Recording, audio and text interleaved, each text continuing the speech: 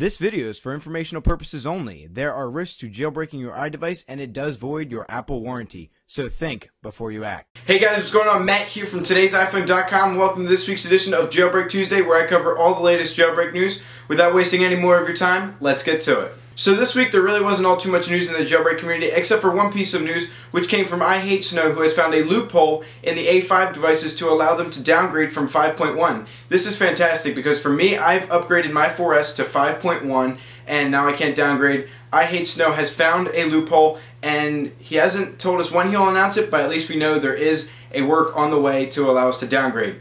Also, for those with the iPad 3, or third generation. The A5X processor, he said, will work as well as soon as a new firmware is out. So if you uh, upgrade to the newer firmware on the A5X processor, you'll still be able to downgrade uh, using the same method that the A5 devices are going to use through I Hate Snow's method.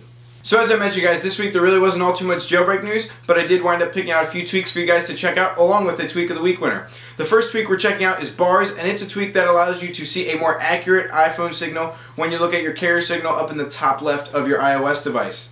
The second tweak to check out is Sparrow Push. It allows for push notifications to the Sparrow Mail client, which you can download inside the regular App Store. The third tweak this week is App Update Notifier, which does exactly what the title says. It alerts you when an app you've downloaded from the App Store needs an update. In this week's edition of Jailbreak Tuesday, there was actually two winners of the Tweak of the Week, and this week, Attacher and Handcent SMS both won. Attacher won because it's a fantastic application that allows you to send any file type via iMessage.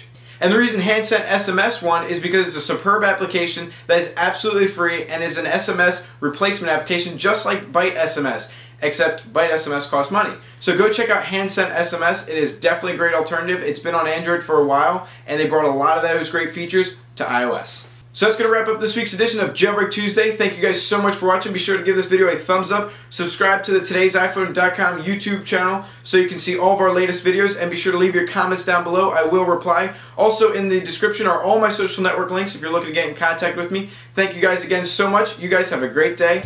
Peace.